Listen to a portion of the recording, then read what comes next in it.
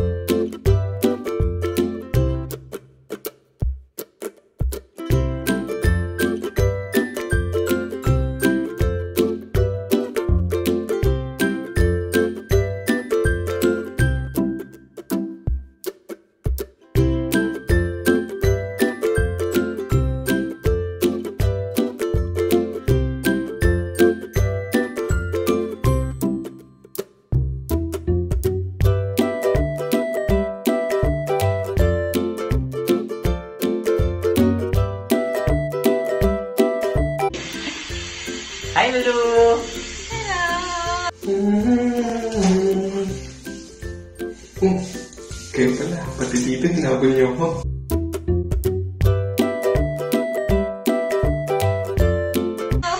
Ano, describe Lulu in one sentence. Lulu Lulu. is purple. Lulu is late. Everything about Lulu is purple. Lulu bear, Lulu purple. Purple clothes, purple. Si Lulu kasi sobrang sweet niya eh. Adventurous. Outgoing. Kala ko nga yung dating grad pick. Yung pagiging mermaid. In real life pala gustong pag-mermaid. Lagi siyang on the go. Basta hindi siya malate. Pero alam ko hindi na raw siya late ngayon. Tapos, ano, lagi siyang ayos. Lagi siyang yung parang, ano, dolled up. I think hanggang ngayon naman eh, di ba? Yan. And yun, napaka-bait niya, napaka-caring, thoughtful. And ayun, very concerned siya kahit nung bumisita siya sa Sydney, kami pa rin yung nakasikaso niya mga housemates ko. Yun, and yun nga, sa team, ano, at, ano, nagdadagdag ka ng kulay sa buhay namin. Uh, I found her to be jolly, masayahin, tapos very outgoing, very friendly to everyone, people of all shapes and sizes. Um, and I'm very happy she hasn't changed since then. I'd say Lulu is definitely a go-getter. So lucky you, Jason, for getting her. Describe Lulu in one sentence. Uh, sweet. Lahat naman ng friends niya, alam naman kung gaano siya kasweet as a friend. Ate Lulu in one word, malambing. Siya na yata yung pinakamalambing na taong nakilala ko. Sa lahat ng tao, napakalambing at napakabait niya. And bubbly person. One word to describe Lulu. it's uh, generous. She has been very generous ever since college with with her time and with her since ang love language nga niya is gifts, she's very generous in uh, giving gifts.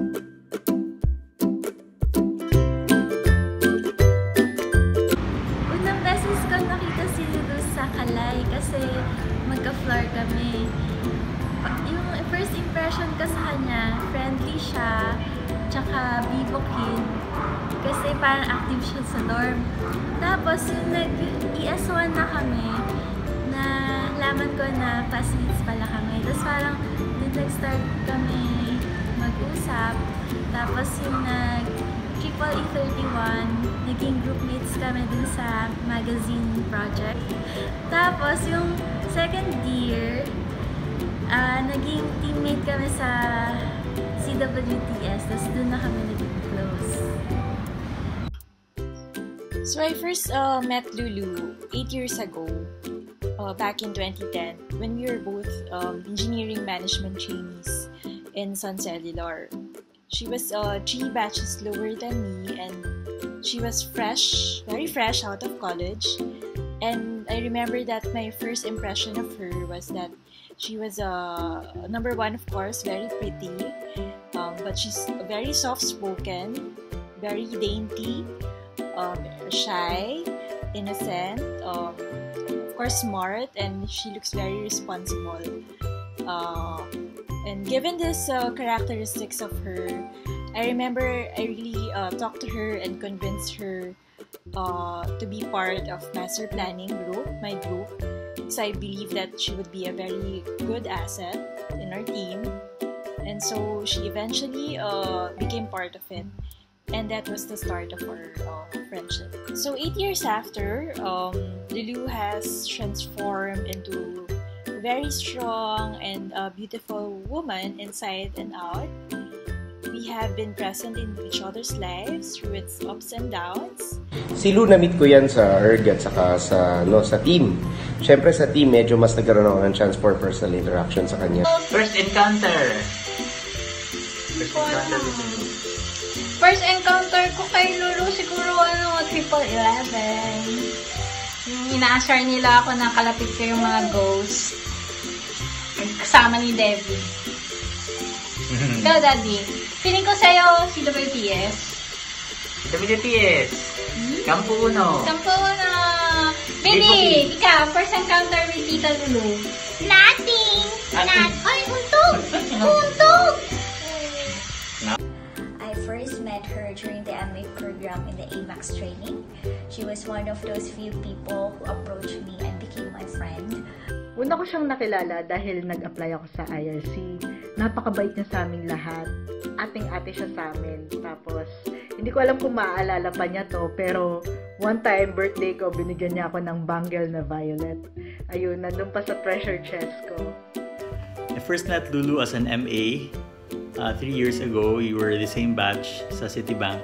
Describe my first encounter kay Lulu uh, sa Tripoli. Hindi ko nakalala kung ano subject. I guess, baka sa CWATS. First encounter with her was during college. Uh, I think classmate ko siya sa isang subject and uh, she was very uh, friendly then. And even though magkaiba kami ng org, she was uh, very accommodating with me. Well, our first meeting wasn't that memorable. In fact, I don't remember much about how we met.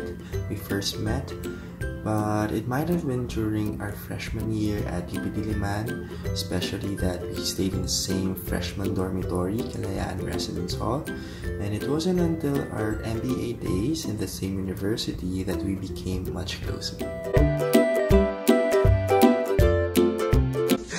Yung message ko pala, ano? Hi, Lulu. Ah, congrats sa wedding. Ayun, stay sweet and thoughtful. God bless. Sige. Bye-bye. Hi Lou, best wishes to you and Jason. Uh, you know that I'm very, very happy for you and I'm rejoicing with you in this season. I I hope and pray na all, for all the best things in life with the both of you. Hi Lulu, congratulations! Well, my message to you is definitely NSFW, not safe for weddings. So, let's catch up as soon as you get back in the office. Bye bye.